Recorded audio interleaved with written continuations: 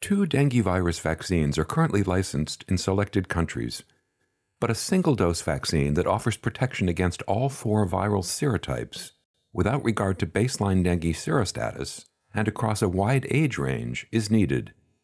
Data are now available on a new candidate, Butantan dengue vaccine. In this ongoing Phase 3 double blind randomized placebo controlled trial conducted in Brazil, 16,235 participants, 2 to 59 years of age, were assigned in a 2 to 1 ratio to receive a single dose of the live attenuated tetravalent vaccine or placebo.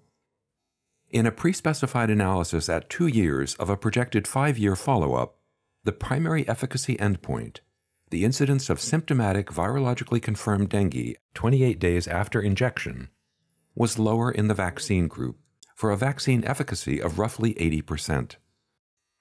In secondary endpoints, the vaccine showed efficacy against each of the two dengue virus serotypes occurring during the trial, DENV1 and DENV2, and in participants with evidence of previous dengue exposure and in those without previous exposure.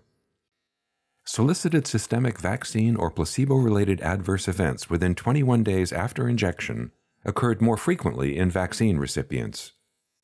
The most common of these events were headache, fatigue, and rash. The authors conclude that among children and adults in Brazil, a single dose of the Butantan dengue vaccine prevented symptomatic dengue virus serotypes DENV1 and DENV2, regardless of previous dengue exposure, throughout a two year follow up. Full trial results are available at nejm.org.